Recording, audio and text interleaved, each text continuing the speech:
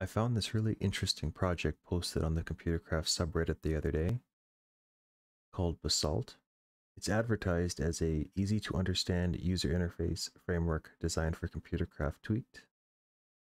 The demonstrations the developers or the developer have made are really interesting, so I wanted to do two things. One, boot into Minecraft and test out the demos, actually download them, play with them. Then two, just kind of do a quick install and do the the introduction. Because I'm quite new to Lua. Definitely new to making user interfaces. This seems really powerful. On the project's github page if you go to examples and I'll do preview 1 then raw. Control C. I'm currently in 1.18 version of Minecraft with the CC tweaked advanced computer.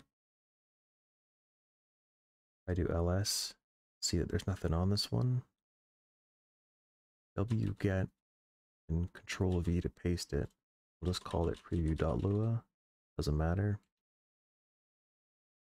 If I do edit preview, this is the file that we just downloaded. This part here actually downloads the Basalt user interface framework if it's not installed.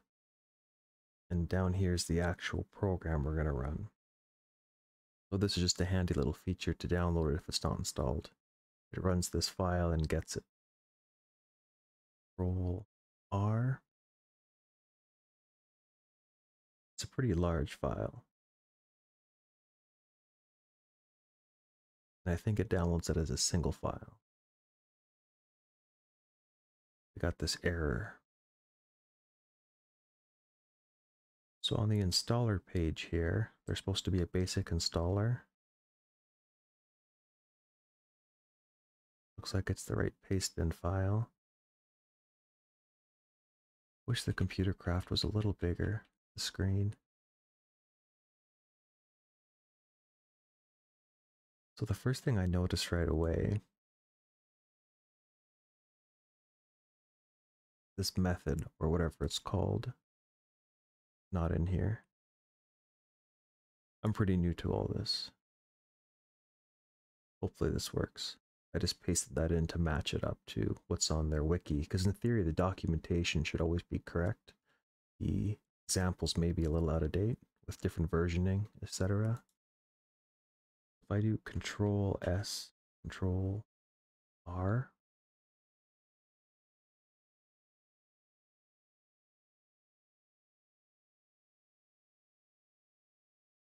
Okay, so this piece of text here that I actually have highlighted was missing and that was causing the issue.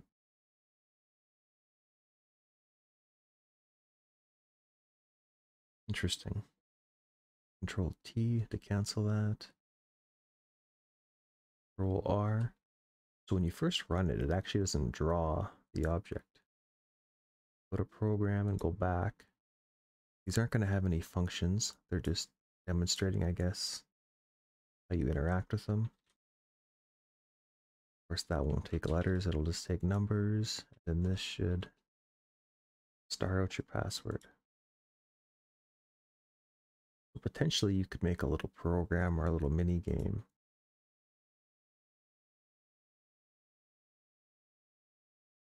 Kind of interesting. Add shell.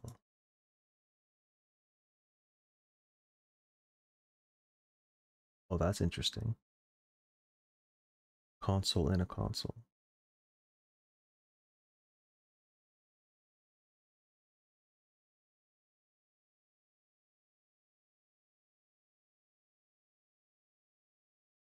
Weird. And then an editor.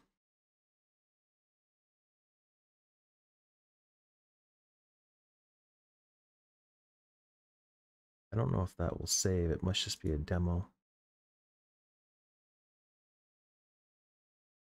Control T, cancel, and Control E to exit. So if I go back now and grab the second preview, raw, wget, control paste, let's name this preview 2.lua. edit P2, Control R. What's interesting is this example doesn't have the auto downloader in it. So if it wasn't already downloaded, it wouldn't run. It's saying that it needs this, but it doesn't download it automatically.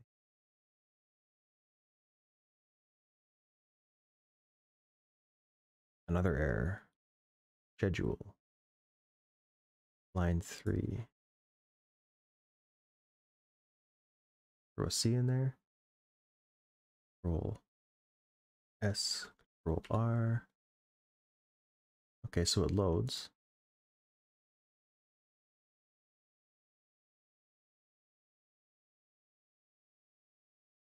Okay, so I guess there's an XML file with this that I forgot. That must be what it's previewing or demonstrating. So control C. Exit out of that. W get.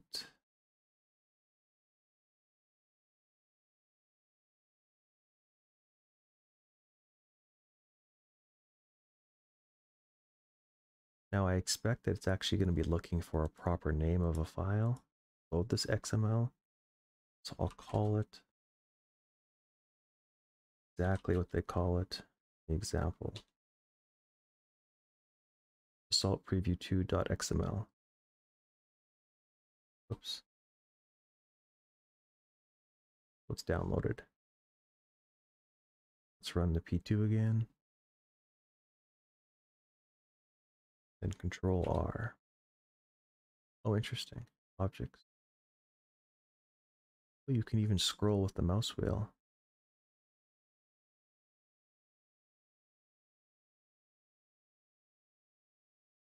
This is actually really cool. It knows what's in focus. So if I scroll on the button, nothing moves. But if I scroll with the mouse wheel here, here, the appropriate frame actually moves.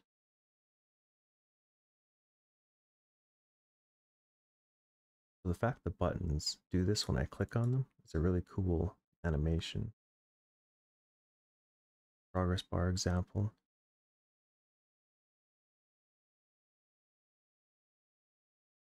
Oh, this is really interesting.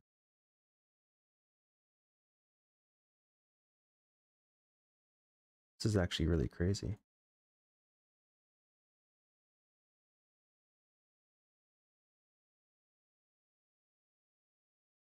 The more programs we can run in a program than an editor.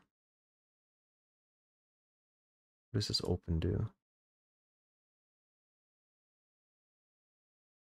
I see.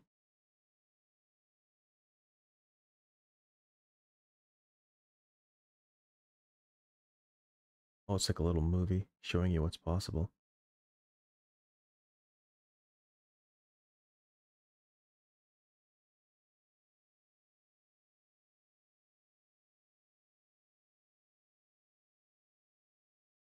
That's really crazy.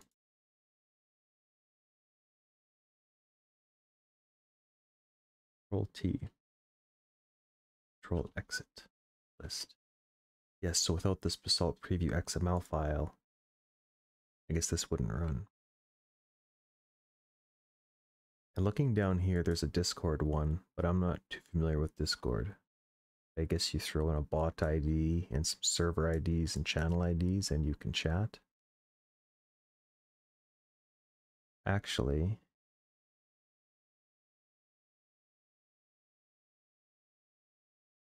the Computercraft Reddit, I think this example they posted. Yes, this is the Discord example.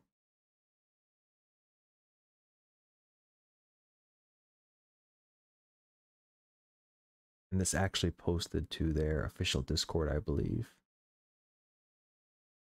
Which is right here. You want an invite. Lots of good information and um, help on there. I've seen people asking questions and getting good answers.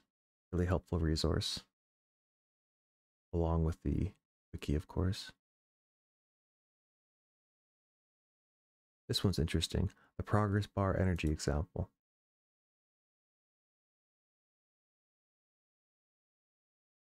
This one might have the same typo, But fortunately, I already have Basalt installed, so I'm not going to run into it.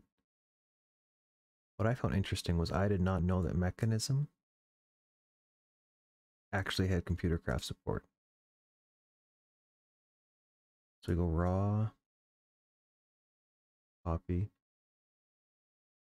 w get, control V, then uh, energy.lua.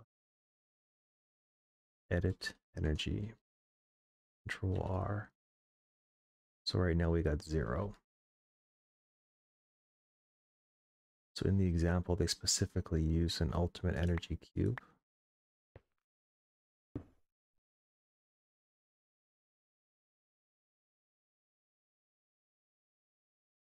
It took a second to update, but here this salt auto update, it's ran every time, and I guess it's like a refresh. If I hook up this one, output out the bottom, we should see it drop. This one increase. That's pretty interesting. I think this is a really good example for me to start on to try to learn how to draw stuff because it's pretty small and it's not overwhelming. We'll throw it on a brand new computer, ls, nothing's on it. Edit example.lua. So I kind of want to use this basic installer example that they have posted. This is interesting, the quick start. Local basalt equals wire. Here they have an example with lots of good comments. And here's just the concise version of it. There's much better ways to bring this into the world get it into the computer, but I'm just going to copy and paste it line by line for the magic of editing. Okay, so they have an example that I'm familiar with that I can read and understand for the most part. Some good comments. And down here, this is a new style of programming that I don't recognize, but I guess it's more succinct and beautiful code. That's what I copied and pasted in. And right off the bat, we're going to have a failure because I don't actually have Basalt installed. If I run this, Control R, line 1, not found. If I go back to the installer, so they actually tell you right here that if you wanted to download a single file, you could. So I forgot to save this. I'm saving it now after recopying it in. So looking at our directory, we don't currently have Basalt installed. And there's a folder version you can install for people who want to really dig into the code and maybe customize it. I definitely don't want to do that. So if I was to run this command,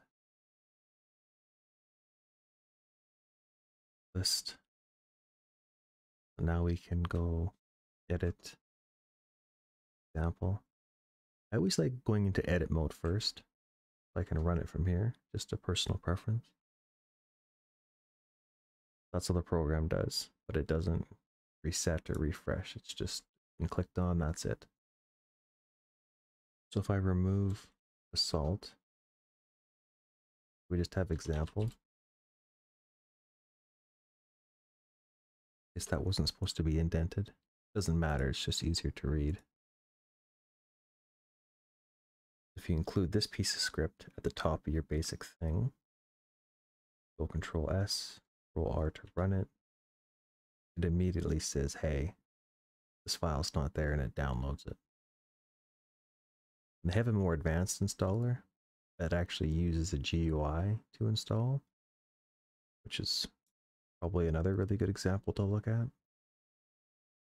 So this is another section on the wiki that I found really interesting, the tips and trick. This method one here, using this parallel wait for all function, is really interesting. I've been using it on other programs I've been making. But basically, it jumps between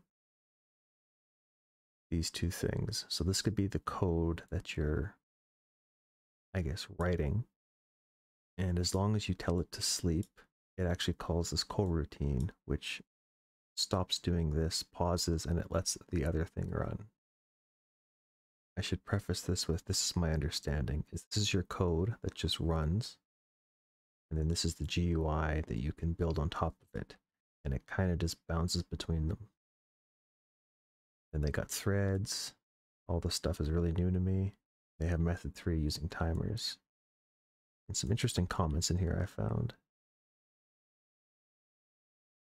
And again, documentation. We go to the linked CC tweaked page. It actually talks about this parallel wait for any versus wait for all. It's pretty cool. I've used it in previous videos. Well, I guess that's it. This is a really interesting project still being worked on, and as of the time of my video, they last posted an update 11 days ago, so it's actively being worked on.